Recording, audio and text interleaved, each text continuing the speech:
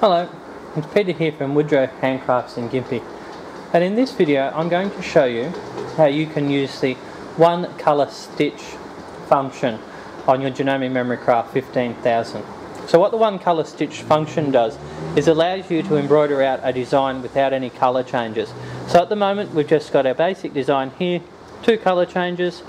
Now to turn that to a one colour design, press home, embroidery edit, select the flower here so we see this icon has a flower with many colours and then a flower with just the one colour.